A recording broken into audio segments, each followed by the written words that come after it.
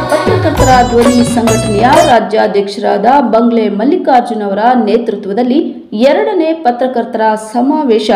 ಇಂದು ಬೆಂಗಳೂರಿನ ನೆಲಮಂಗಲದಲ್ಲಿರುವ ಎಂವಿಎಂ ಕನ್ವೆನ್ಷನ್ ಹಾಲ್ನಲ್ಲಿ ಅದ್ದೂರಿಯಾಗಿ ಜರುಗಿತು.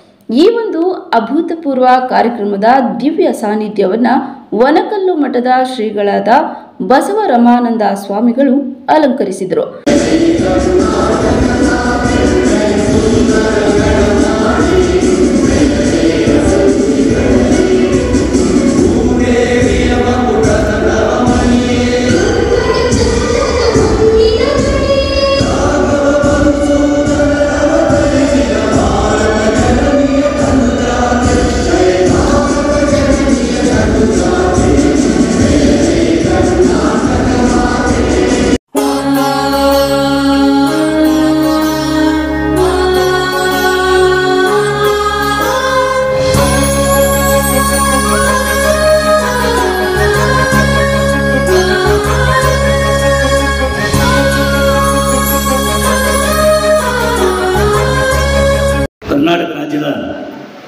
ಧ್ವನಿ ಸಂಘಟನೆಯ ರಾಜ್ಯಾಧ್ಯಕ್ಷರಾಗಿರುವ ಬಂಗಲೆ ಮಲ್ಲಿಕಾರ್ಜುನ ಅವರಿಗೆ ವೇದಿಕೆ ಮುಖಾಂತರ ನಮ್ಮ ನಿಮ್ಮೆಲ್ಲರ ಪರವಾಗಿ ಹಾರ್ದಿಕ ಅಭಿನಂದನೆಗಳು ಸಲ್ಲಿಸ್ತಾ ಇದ್ದೀವಿ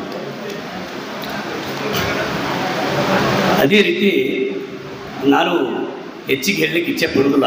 ಯಾಕೆಂದರೆ ನಮ್ಮ ಚಿತ್ರರಂಗದ ಯುವ ನಾಯಕರು, ಯುವ ಚಿತ್ರನಟರು ಚೇತನ್ ಅವರು ಭಾಳ ಅದ್ಭುತವಾಗಿ ಮಾಧ್ಯಮದ ವಿಶ್ಲೇಷಣೆ ಮಾಡಿ ಹೇಳಿದರು.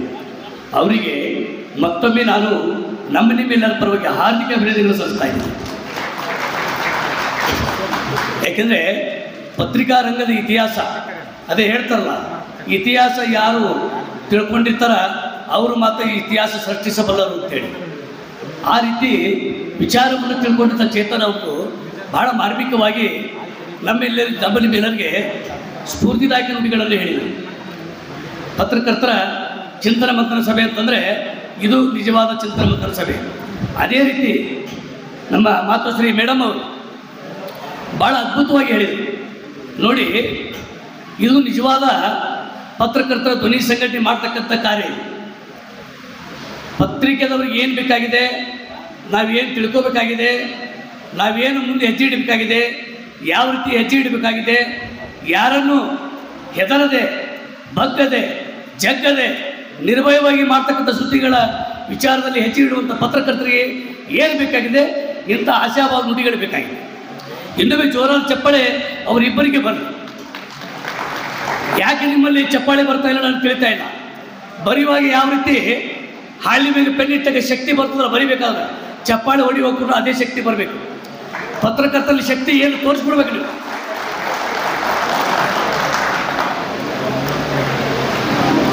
ಕೇವಲ ಕಾಟಾಚಾರಕ್ಕೆ ಪತ್ರಕರ್ತರಾಗಬಾರ್ದು.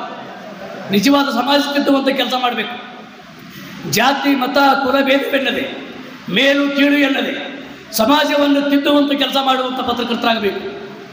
ಒಂದು ಸುದ್ದಿ ಬರೆದ್ರೆ ಇಡೀ ಸಮಾಜ, ಇಡೀ ಜಗತ್ತನ್ನು ನಮ್ಮತ್ತ ತಿರುಗಿ ನೋಡುವಂಥ ಪತ್ರಕರ್ತರಾಗಬೇಕು. ಯಾವ ರೀತಿ ನಿಮ್ಮನ್ನು ಹೊಗಳುವಂಥ ಪತ್ರಕರ್ತರಾಗಬೇಕು ನೀವು, ನಿಮ್ಮನ್ನು ತೆಗಳುವಂಥ ಪತ್ರಕರ್ತರಾಗಬಾರ್ದು. ಕೇವಲ ಜಾತಿ ವಿಚಾರವನ್ನು ಮುಂದಿಟ್ಟು ಮುಂದಿಟ್ಟುಕೊಂಡು, ಮೇಲು ಕೀಳು ಭಾವನೆ ಮುಂದಿಟ್ಟುಕೊಂಡು, ನಾ ದೊಡ್ಡವ, ನೀ ದೊಡ್ಡವ ಅಂತ ವಿಚಾರ ಇಟ್ಟುಕೊಂಡು, ನಾನೇ ಬರೆಯುವಂಥ ಶ್ರೇಷ್ಠ ಅಂತ ಹೇಳ್ಕೊಳ್ಳೋದು. ಎಲ್ಲರೂ ಶ್ರೇಷ್ಠ ಪತ್ರಕರ್ತರೆ. ಪೆನ್ ಹಿಡಿಯಕ್ಕೆ ಯಾವ ಕರೆಕ್ಟ್ ಬರ್ತೈತಿ, ಯಾವ ಕನ್ನಡ ಅಕ್ಷರಗಳು ಕರೆಕ್ಟ್ ಬರೀತಾರ, ಕನ್ನಡ ಅಕ್ಷರಗಳ ಶ್ರಮಾಲಯಗಳನ್ನು ಯಾವ ರೀತಿ ಜೋಡಣೆ ಮಾಡಿ ಕರೆಕ್ಟಾಗಿ ಬರೀತಾರ, ಅವೆಲ್ಲರೂ ಕೂಡ ಶ್ರೇಷ್ಠ ಪತ್ರಕರ್ತರೆ.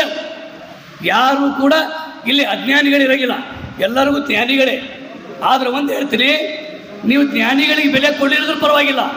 ಅನುಭವಸ್ಥರಿಗೆ ಮಾತ್ರ ಬೆಲೆ ಕೊಡುವಂಥ ಕೆಲಸ ಪತ್ರಕರ್ತರು ಮಾಡಬೇಕು, ಅನುಭವಸ್ಥರಿಗೆ. ಯಾಕಂದರೆ ಅತಿ ಹೆಚ್ಚು ಜ್ಞಾನವುಳ್ಳಂಥವ್ರು ಎಲ್ಲೋ ಒಂದು ಕಡೆ ಪತ್ರಕರ್ತರನ್ನ ದಾರಿ ತಪ್ಪಿಸುವಂಥ ಕೆಲಸ ಮಾಡಿ, ಕೆಲಸ ಮಾಡ್ತಾರೆ. ಆದರೆ ಅನುಭವಸ್ಥರು ಹಾಗಲ್ಲ. ತಮ್ಮ ಅನುಭವವನ್ನು ಹಂಚಿಕೊಂಡು ಮುಂದೆ ಪತ್ರಕರ್ತ ಯಾವ ರೀತಿ ಹೆಜ್ಜೆ ಇಡಬೇಕಂತ ವಿಚಾರದಲ್ಲಿ ತಿಳಿಸಿ ಹೇಳ್ತಾರೆ ಅವರು. ಯಾವಾಗಲೂ ಕೂಡ ಒಂದು ನಮ್ಮ ಕಿವಿ ಮಾತು ಹೇಳ್ತೀರಿ ನಮ್ಮೆಲ್ಲ ರಾಜ್ಯದ ಪತ್ರಕರ್ತರ ಸಹೋದ್ಯೋಗ ಮಿತ್ರರು ಬಂದಿದ್ರಿ.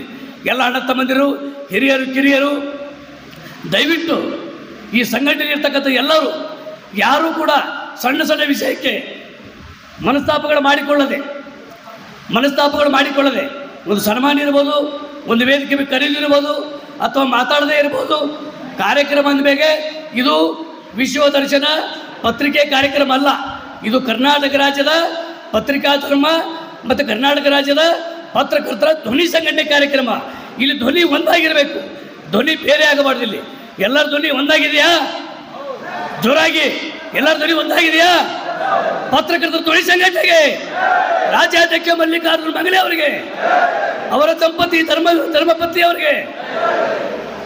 ಹೀಗಾಗಿ ಎಲ್ಲರೂ ಒಗ್ಗಟ್ಟಾಗಿ ಕೆಲಸ ಮಾಡ್ರಿ. ಪತ್ರಕರ್ತರ ಹಿಂದ ಪತ್ರಕರ್ತರ ಚೂರಿ ಹಾಕುವಂಥ ಕೆಲಸ ಮಾಡಬೇಡ್ರಿ.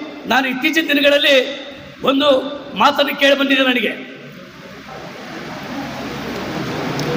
ಅದು ಸ್ವಲ್ಪ ನನಗೆ ಭಾಳ ನೋವನ್ನು ತಂದಿದೆ.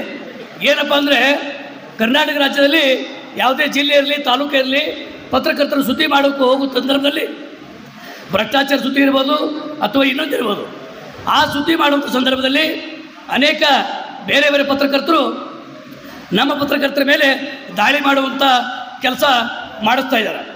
ಅದು ತಪ್ಪು. ದಯವಿಟ್ಟು ಯಾರು ಮಾಡಬಾರ್ದು. ನೀವೇನು ಮಾಡ್ತಾಯಿದ್ರಿ ನಿಮ್ಮ ಕುಟುಂಬದ ಸದಸ್ಯರ ಮೇಲೆ ನೀವು ದಾಳಿ ಮಾಡ್ತಾ ಇದ್ರಿ ಅಂತ ನೀವು ತಿಳ್ಕೋಬೇಕು. ದಯವಿಟ್ಟು ನಾವೆಲ್ಲ ಒಂದೇ ಮನೆಯ ಕುಟುಂಬದ ಸದಸ್ಯರು. ಒಂದೇ ತಾಯಿ ಮಕ್ಕಳಂತ ಇರಬೇಕು ಯಾರಿಗೆ ಒಬ್ಬರಿಗೆ ಕರ್ನಾಟಕದಲ್ಲಿ ಅನ್ಯಾಯ ಆದರೆ ಸಾವಿರಾರು ಕೋಟಿ ಸಂಖ್ಯೆಯಲ್ಲಿ ನಾವು ಒಂದಾಗಿ ಪ್ರತಿಭಟನೆ ಮಾಡುವಂಥ ಕೆಲಸ ಮಾಡುವಂಥ ಪತ್ರಕರ್ತರಾಗಬೇಕು. ಇದು ನನ್ನ ನನ್ನ ಒಂದು ಕೂಗು ನಿಮ್ಮಲ್ಲಿ.